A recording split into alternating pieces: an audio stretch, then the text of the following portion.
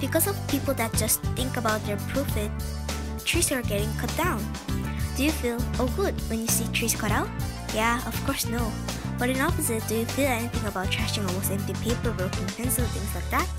You just think, oh I scrambled, I'm saved, so I'll trash.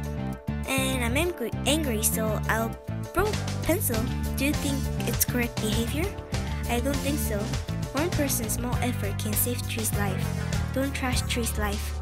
Save tree, save earth.